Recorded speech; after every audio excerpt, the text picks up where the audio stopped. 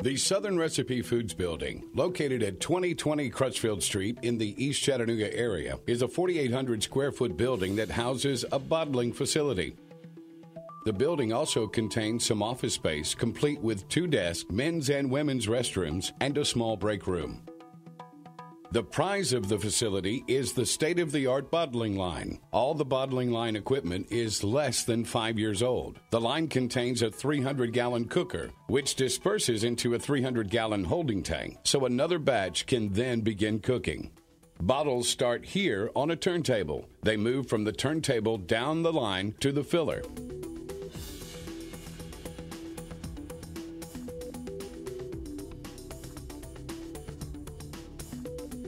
The filler is currently configured to fill four bottles at a time. However, nozzles can be added to increase its capacity to six bottles at a time, allowing the line to turn out up to 84 bottles a minute.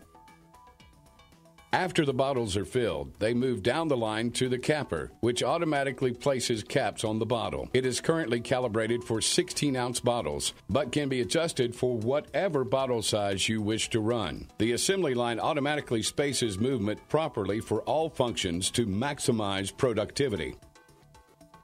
After caps are applied, bottles are automatically fitted with a shrinkage sleeve neck band or tamper banner, creating a tamper resistant seal. This too can be adjusted to accommodate different sizes and styles of bottles. The bottles move through a heat tunnel, which heats the tamper banner and shrinks it into place around the neck and cap of the bottle. Bottles then go to the labeler, where labels are applied.